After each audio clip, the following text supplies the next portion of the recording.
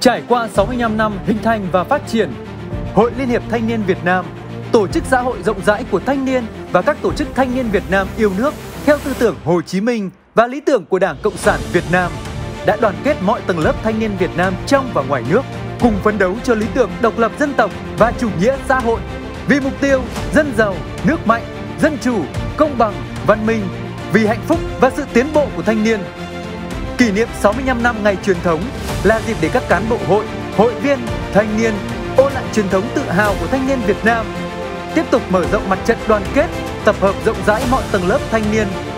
chăm lo bảo vệ quyền lợi và lợi ích hợp pháp chính đáng của thanh niên,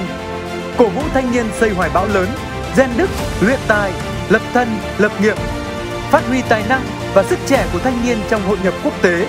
giữ gìn bản sắc văn hóa dân tộc, phát triển kinh tế, xã hội và bảo vệ Tổ quốc. Vì mục tiêu dân giàu, nước mạnh, xã hội công bằng, dân chủ, văn minh